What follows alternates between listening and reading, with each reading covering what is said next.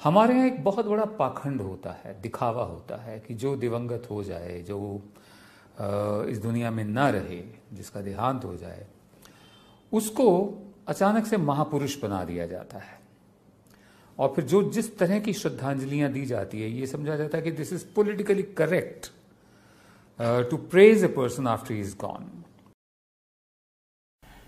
क्या बोलना है और कैसे बोलना है, इसे लेकर विनोद दुआ के पास जो एकाधिकार था, कोई उस स्तर तक नहीं पहुँच सका। टीवी पत्रकारिता का एक शानदार पन्ना आज अलग हुआ है। वो अब इस दुनिया में नहीं है, लेकिन इस माध्यम में इस कदर है कि लगता ही नहीं कि आज नहीं है। डॉक्टर प्रणव रॉय, विनोद दुआ के साथ लंबे समय तक का काम करते रहे और वो हमेशा कहते रहे कि विनोद सिर्फ़ महान पत्रकारों में से एक नहीं, बल्कि वो अपने दौर में महानतम है।